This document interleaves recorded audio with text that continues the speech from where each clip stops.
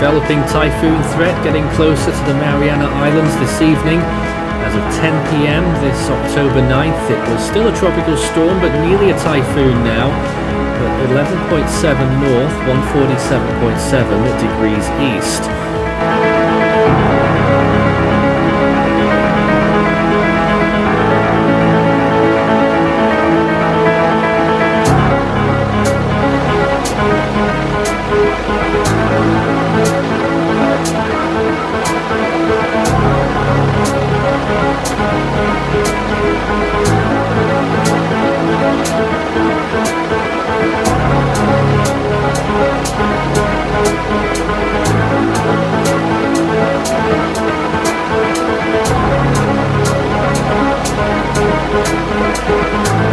West Pacific scores another Category 5 in the form of Bolaven, 17.2 degrees north and 144 degrees west, headed away from Guam right now with a wind speed of 160 miles an hour, that's 260 kilometers an hour, a central pressure of 922 millibars, 27.23 inches of mercury, headed north-northwest at 10 miles an hour, 16 kilometers an hour, 9 knots, like I said, away from Guam.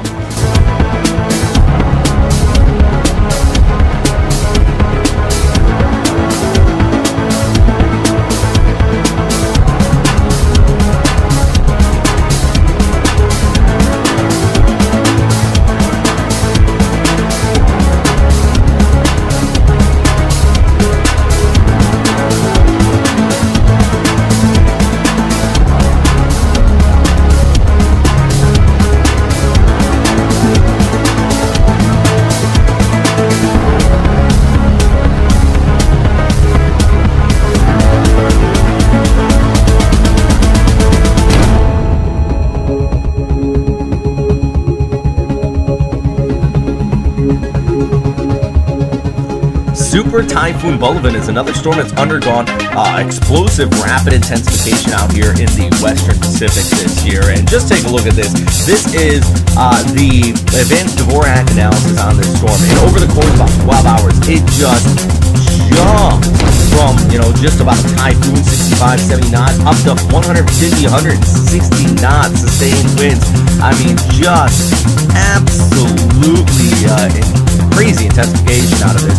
Thankfully, that all took place just mere hours after it impacted Rota, Saipan, and Guam. So